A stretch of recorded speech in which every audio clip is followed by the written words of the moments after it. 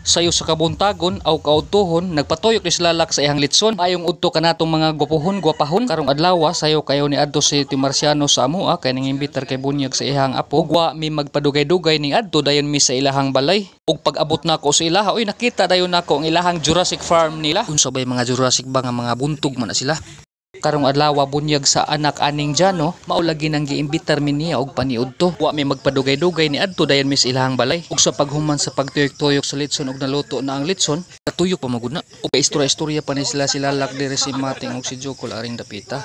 Tuara ang litson naluto og isandig na ug istorya-istorya pa ni sila dinhi dapita og pakatawa. Ug maog gihapon ang weather sa panahon nga grabing inita og iganga sabay iga nga mokalit mag-uwan og taligsik ah dili ta magistorya kay tuan ang litson gisandig. Ay tuod sa ang litson guys. Gasandi guys.